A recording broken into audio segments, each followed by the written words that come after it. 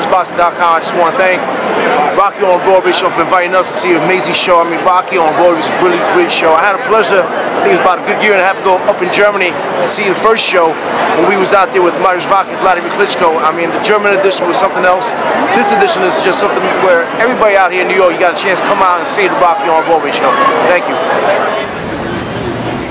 Gentlemen, what do you guys think about the Rocky show? I liked it a lot. And uh, the critics, I think, were wrong. I think it was really entertaining, fun, and exciting. Uh, where are you guys from? Uh, we're from Long Island. I, I also think- liked the fact that the uh, boxing was very realistic. I thought, you know, looked like real boxing going on. Yeah, I used to box in my day, so uh, I think there was something lacking there.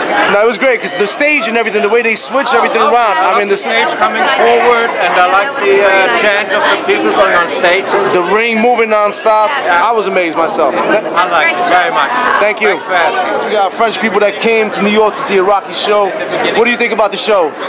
I think it was a good show, very good show. Très bon, très bon spectacle de Rocky, ça a été super bien. J'étais avec ma femme qui était très bien.